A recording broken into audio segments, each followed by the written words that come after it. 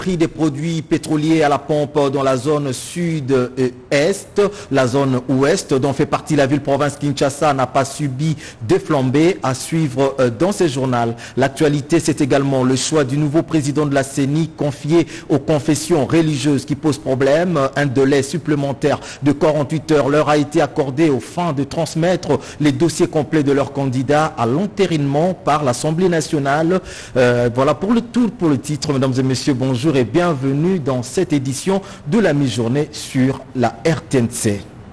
La mort d'un étudiant le samedi dernier a provoqué de vives tensions à l'université de Kinshasa Unikin et le président de la République n'est pas resté indifférent euh, suite à cette perte en vie humaine. Félix Antoine Tshisekedi Chilombo a reçu hier la représentation des étudiants de la, de la République démocratique du Congo au menu de leurs échanges, l'assassinat de leur collègue Honoré Chama le samedi dernier dans la commune de Selembao. On fait le point avec Elvira Pandou et Coco Molicho. La représentation des étudiants de la RDC a été reçue ce mercredi 28 août dans la soirée par le chef de l'État Félix-Antoine Tshisekedi Chilombo dans la cité de l'Union africaine. Leurs échanges ont tourné autour de l'assassinat d'Honoré Chama, étudiant de l'Université de Kinshasa en deuxième graduat communication à la faculté des lettres.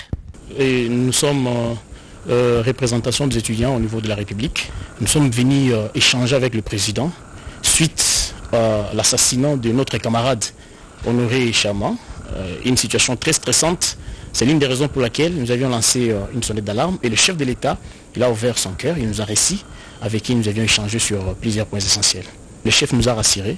D'ailleurs, il a même anticipé les événements parce qu'il avait déjà récit la famille de l'illustre du Paris le chef de l'État nous a promis qu'il va également accompagner cette famille. Il va euh, euh, faire en sorte que cette famille se sente vraiment protégée.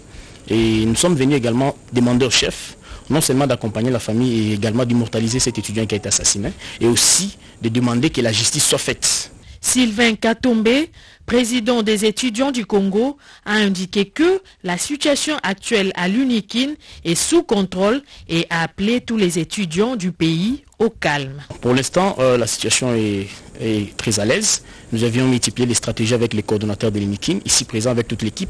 Nous avions mis une très bonne politique sur place, non seulement à l'UNIKIN, même dans d'autres universités de la République. C'est l'une des raisons pour laquelle nous appelons tous les étudiants de la République au calme.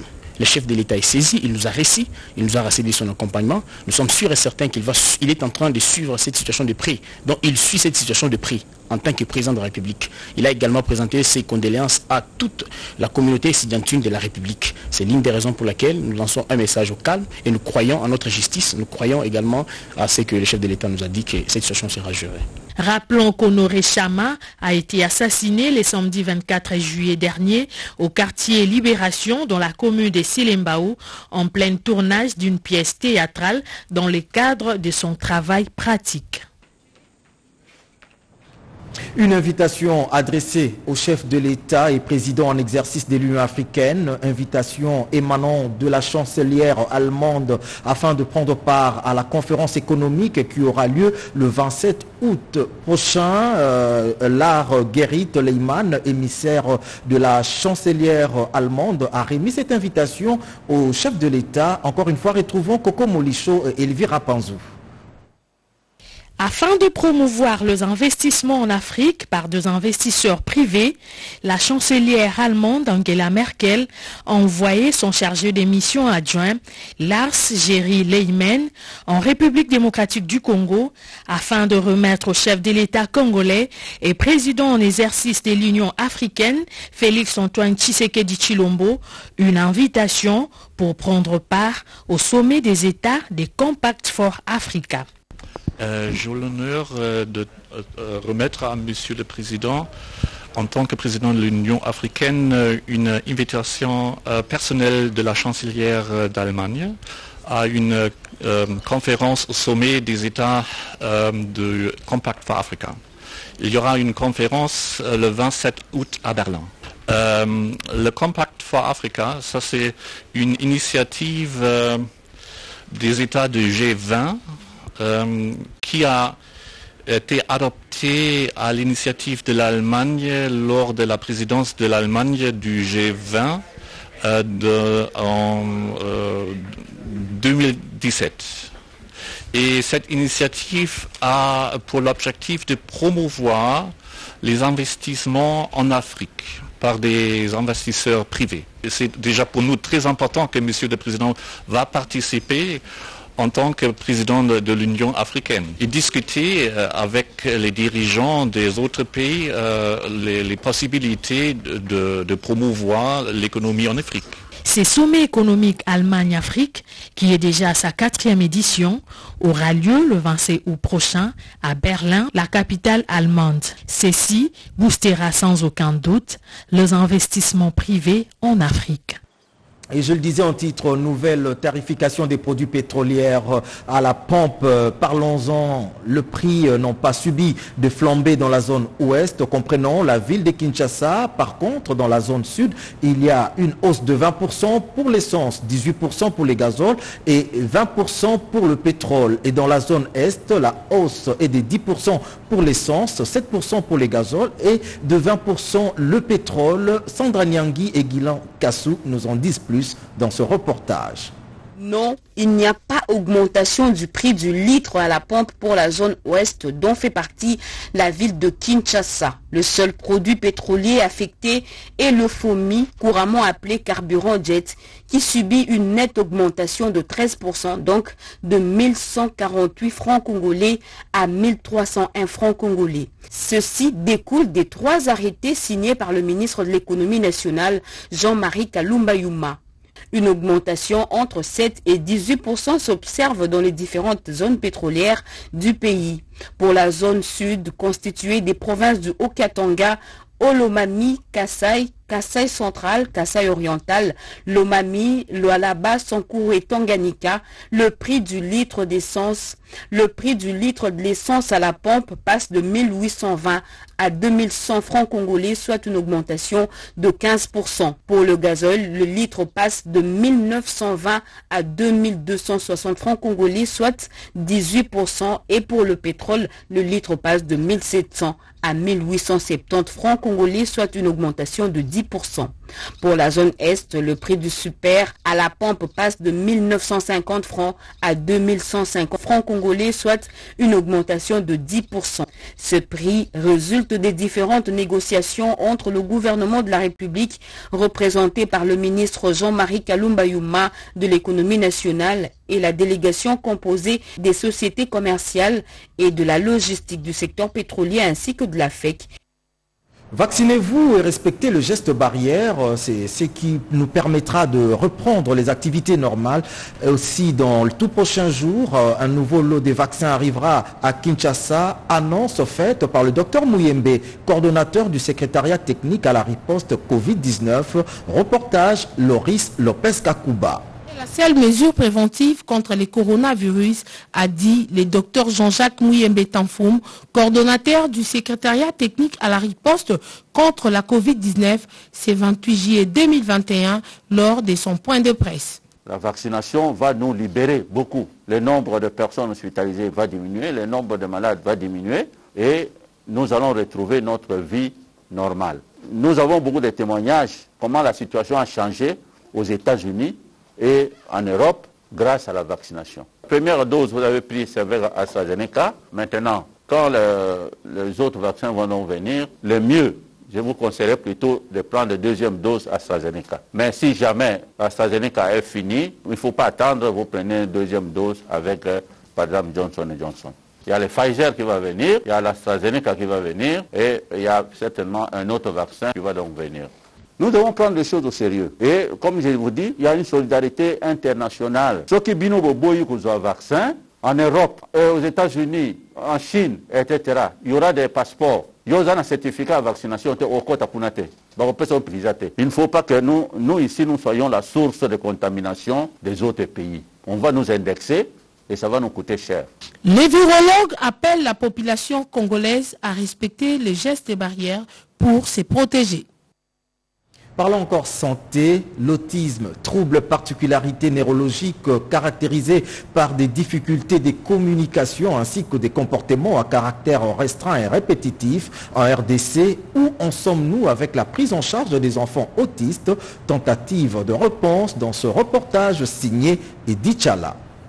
L'autisme, trouble neurologique caractérisé par des difficultés de communication et de comportement chez l'enfant. Les causes ne sont toujours pas connues jusqu'alors. Mais les recherches se focalisent beaucoup plus sur la génétique et les facteurs environnementaux. Congo Autisme est l'une des rares structures de prise en charge et d'accompagnement des enfants souffrant de cette maladie et totalise à ce jour dans ce domaine deux ans. Un parcours élogieux salué par les personnalités invitées des marques. Au-delà de toute considération, la fille à chandelle revient à son initiatrice, Elodie Bokamboli. Au début, c'est un centre récréatif, ça veut dire l'enfant vient, il joue. Mais vous remarquez, parmi les enfants, il y a ceux qui essayent de parler un peu. On essaie de les apprendre à jouer. Les jeux sociaux éducatifs, pour ne pas les laisser se mettre dans les jeux. Et le but est que, quand il y a un enfant qui progresse bien, on va l'inscrire à l'école ordinaire. Il peut faire par exemple deux fois par semaine à l'école ordinaire et trois fois ici au centre récréatif. Les centres récréatifs, là, ça commence à donner des fruits. Mais on attend toujours pour qu'on nous aide. Et je suis décidé, ici à Congo Autisme, il y aura des enfants qui vont quitter ici pour aller à l'école ordinaire normale.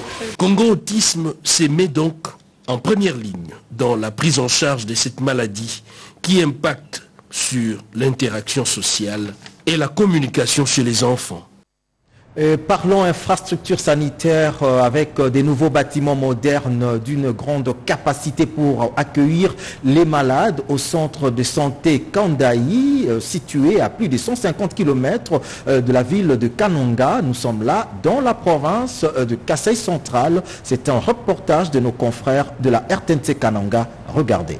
Tenir la vision du chef de l'État, Félix-Antoine Tshisekedi Chilombo, île Versailles et les infrastructures modernes d'une université, la coopérative Bidiep Bidiep située à plus ou moins 150 km de la ville de Kananga, c'est le savoir-faire de Monseigneur Joseph Kalamba pour soutenir les jeunes et les dépourvus dans le développement dans la région. Un centre d'examen d'État et le centre de santé ont été construits par prise, mais la gestion a été confiée à la COBIDIEP lors de l'inauguration, les élèves et le chef de centre se sont réjouis précisément à Kandaï qui reproche les deux tribus qui étaient le loi de vivre ensemble. Pas de danse, chants d'allégresse ont caractérisé cette inauguration.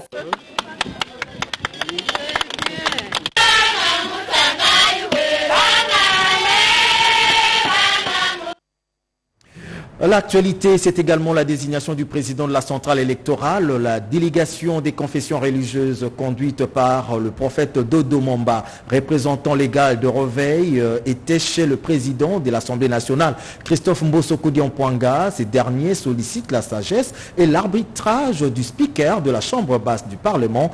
Ils ont obtenu 48 heures pour déposer le nom du candidat qui succédera à Corneille Nanga. Reportage Bernard Baudot et Sylvie Mwembo. Les temps courent vite. Elles ont épuisé les temps impartis pour la désignation de leurs collègues à la Commission électorale nationale indépendante et ne se sont toujours pas mises d'accord. Les confessions religieuses sollicitent l'arbitrage du président de l'Assemblée nationale, Christophe Mbosoko Diapwanga. L'évêque général et représentant légal de l'église de réveil du Congo, Israël Dodo Kamba, accompagné des représentants des cinq autres confessions religieuses, a été reçu mercredi 28 juillet en début d'après-midi par le speaker de la Chambre basse du Parlement. Mais c'est là après la première audience accordée à la délégation conjointe Église catholique et Église protestante. Au sortir de cette entrevue avec le speaker de la Chambre basse du Parlement, catholiques et protestants n'ont rien déclaré à la presse. Le prophète Israël de Dokamba a, de son côté, déclaré que le pourparlers vont se poursuivre jusqu'au délai butoir. Il a par la même occasion invité les catholiques et protestants à revenir à la table des négociations afin de procéder à la désignation du prochain président de la centrale électorale, successeur de Corneille Nanga. Il faut savoir que c'est très tôt de juger euh, un quelconque chef religieux d'être euh, tribaliste ou quoi que ce soit. On ne peut pas établir euh, les choses sur, cette ligne-là. Je peux vous rassurer que l'Église ne marche pas sur les antivaleurs. On ne se base pas sur ce qui nous divise.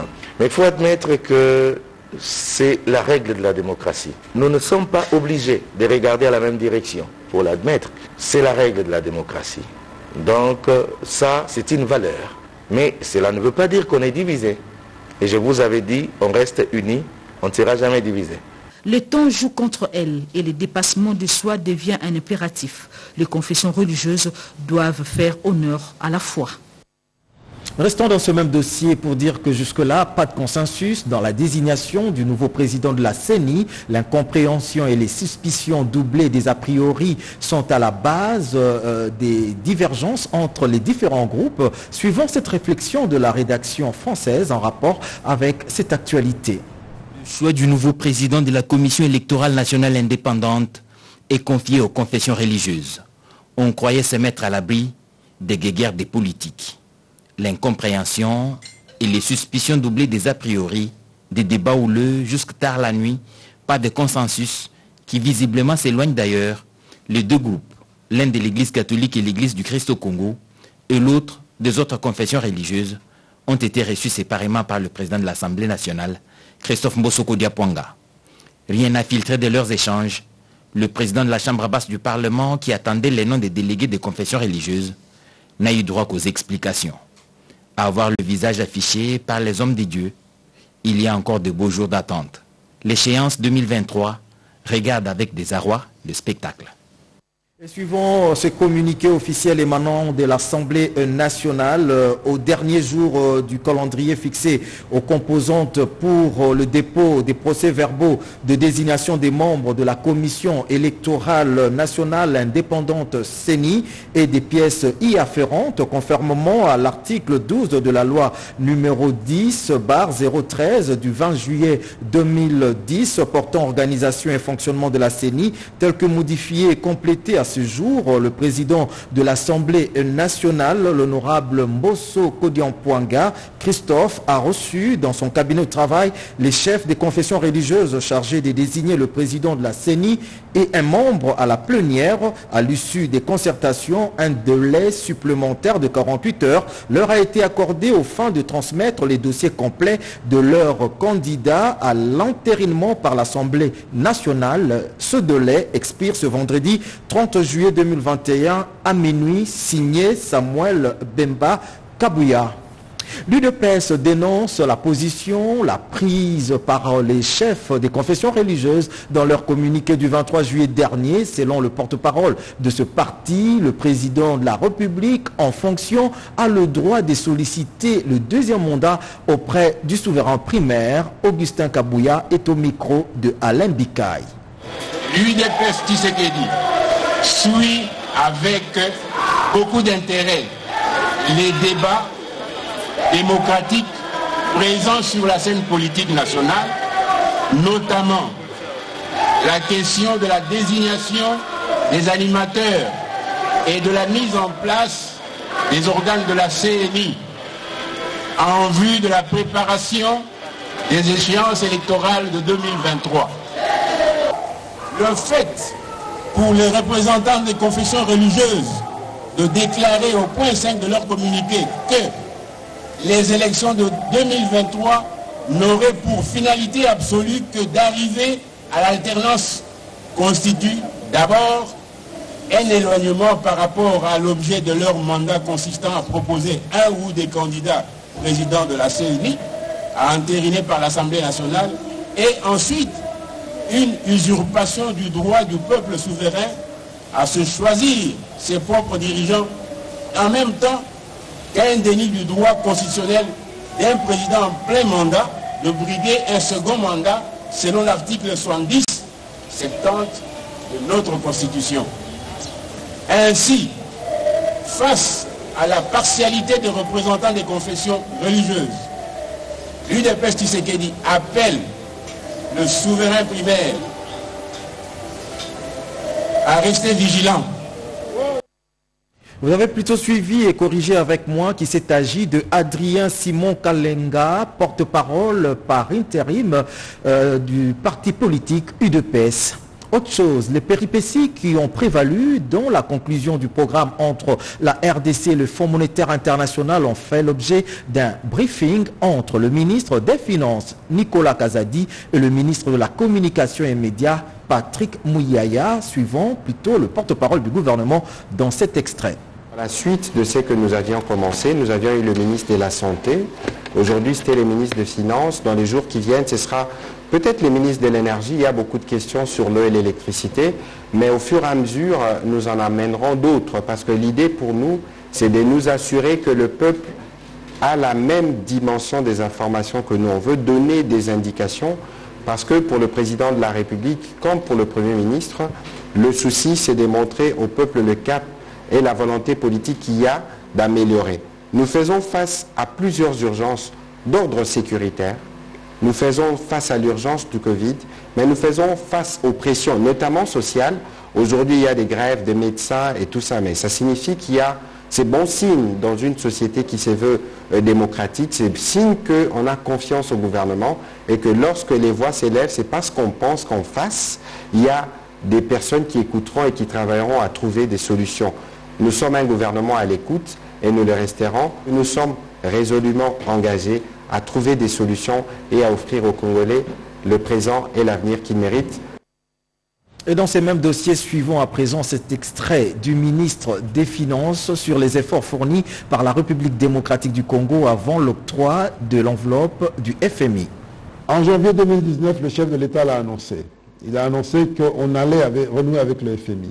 En mai 2019, une première équipe du FMI est venue dans le cadre des revues ordinaires qu'ils ont l'habitude de faire dans tous les pays du monde et on nous a mis sous observation, ce qu'on appelait un staff monitoring programme. La période d'observation devait se terminer à la fin de l'année 2019 et on devait commencer 2020 avec un programme. Mais malheureusement, il y a eu des difficultés. D'abord, les retards dans, dans ce programme intérimaire, euh, dans la réalisation de certains critères de performance. Et puis la crise Covid, tout cela ensemble a fait que nous n'avons pas pu avoir le programme en 2020 comme souhaité et la période d'observation a été prolongée. Mais fort heureusement, en 2020, bien que nous n'étions pas en programme, au moment où la crise Covid est arrivée, le Fonds monétaire a estimé que nous avions la volonté et que nous avions besoin d'être soutenus. Et il nous a donné des ressources dans le cadre d'une facilité spécifique pour faire face à la crise Covid euh, à travers un crédit de 367 millions de dollars. La volonté étant demeurée intacte, on a commencé à travailler pour qu'en 2021, le plus tôt possible, nous ayons un programme. Cette volonté, elle s'est d'abord traduite par les mutations politiques que nous avons conduites. Il fallait qu'il y ait ces mutations pour qu'il y ait un nouveau départ c'est-à-dire un consensus au niveau du gouvernement sur la politique à mener et un engagement renouvelé. Nous avons eu ces changements entre novembre et décembre et finalement en avril, nous avons eu un nouveau gouvernement, le 12 avril, qui a été nommé et qui regarde dans la même direction, qui est déterminé, qui est conscient du fait que nous devons rattraper le temps. Voilà pourquoi on a baptisé ce gouvernement gouvernement des warriors, c'est-à-dire des, des combattants, pour rattraper le temps et très vite, entre avril et juillet, on a pu finaliser les discussions avec le FMI, maintenir les performances et aboutir à ce programme. Ce programme nous ouvre la voie, comme je l'ai dit au début, à plus de ressources publiques et privées, à plus d'intérêt pour la RDC, en se disant c'est un pays qui fait des efforts pour une gestion plus transparente, et plus de ressources pour l'État également, parce qu'un des éléments clés de ce programme, c'est l'accroissement des recettes publiques. Et parlons euh, de ces débuts de travaux préparatoires en prélude de la 15e Assemblée générale de l'Organisation maritime de l'Afrique de l'Ouest et du Centre, dont le lancement officiel est prévu demain. C'est le ministre de Transport, Voies de communication et désenclavement, Chérubin Okende, qui a lancé le début des travaux préparatoires. Reportage Siandé Emeka, Myriam Madika. C'est parti pour les travaux de la huitième session ordinaire du Bureau des ministres des États membres de l'Organisation maritime de l'Afrique de l'Ouest et du Centre au Maroc à Kinshasa. Durant deux jours, les participants à ces assises vont réfléchir autour de plusieurs questions avant la 15e session de l'Assemblée générale. Prenant la parole en premier, le secrétaire général de l'OMAOC, l'Angolais Alain Michel Louvambano, a salué la tenue de ces travaux qui se tiennent près de dix ans après la dernière session.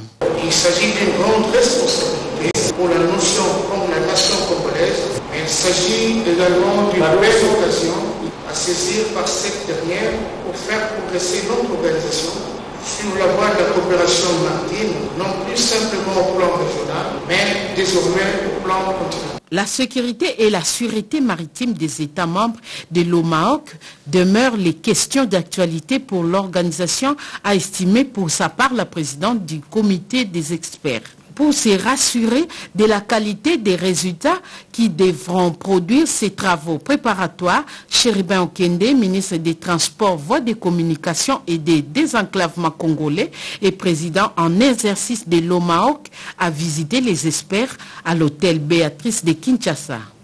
Et nous allons boucler ce journal en parlant de nous-mêmes, formation de renforcement des capacités des réalisateurs des productions audiovisuelles, les journalistes et techniciens de montage. C'est à l'Institut congolais de l'audiovisuel, ICA, l'initiative de la direction de la RTNC pour améliorer la qualité du travail. Reportage Maurice Mbewa, Rodépanda. Ce sont principalement des réalisateurs, journalistes, reporters, présentateurs et monteurs venus de différentes filières notamment le journal télévisé, production, programmation et programmes qui sont retournés à l'école l'Institut congolais de l'audiovisuel ICEA pour une session de formation, de renforcement des capacités sur la production audiovisuelle. Pour la direction générale de la RTNC, il est temps de remonter la courbe et donner du tonis et la qualité dans le travail qui se réalise à tous les niveaux l'opportunité de ces recyclages avec Richard Kalala, formateur. La formation est plus qu'opportune dans le contexte qui est celui de la RTNC. On ne va pas se voiler la face. Aujourd'hui, la RTNC qui était hier le grand tam-tam d'Afrique, euh, on a touché le fond. C'est ici l'occasion peut-être de reconnaître les décisions qui viennent d'être prises par euh, la toute nouvelle direction générale de cette entreprise pour que la formation ne fût qu'au niveau du renforcement des capacités de toutes les filières de métiers de l'audiovisuel puisse être faite en faveur des acteurs. Le mal qui a fait que la télévision nationale s'effondre, je n'ai pas peur des mots, c'est le fait qu'on s'est retrouvé à un moment donné, à cause des influenceurs politico-religieux, tribalo-ethniques, on s'est retrouvé avec tout le monde faisant tout. La matière est concentrée sur la nature de la production ou de la fabrication d'un produit audiovisuel. Et donc, au terme de ce que nous sommes en train de faire maintenant et qui va se continuer demain avec d'autres filières de métiers, la prise de vue, la prise de son, les décors, l'habillage de l'antenne, tout cela, l'infographie, le résultat de tout ça, c'est que je peux le dire la main sur le cœur. Et au nom du directeur général de l'entreprise, je peux vous dire que les téléspectateurs peuvent s'apaiser. D'ici un trimestre, en gros, ils vont retrouver la RTNC qu'ils ont connue dans le temps. Quelques modules spécifiques sélectionnés pour refaire la qualité sont notamment le fondamentaux de la production et réalisation et quelques filières sectorielles. L'initiative est signée Freddy Moulumba, directeur général AI de la RT. Euh, rappel des titres, euh, hausse de prix des produits pétroliers à la pompe euh, dans la zone sud et est. Vous avez suivi dans ce journal que la zone ouest, dont fait partie la ville-province Kinshasa, n'a pas subi de flambée. L'actualité, c'est également le choix du nouveau président de la CENI confié aux confessions religieuses qui pose encore problème. Un délai supplémentaire de 48 heures leur a été accordé au fin de transmettre les dossiers complets de leurs candidats à l'entérinement par l'Assemblée C'est ainsi que nous réformons ce journal. Merci de l'avoir suivi. À très vite.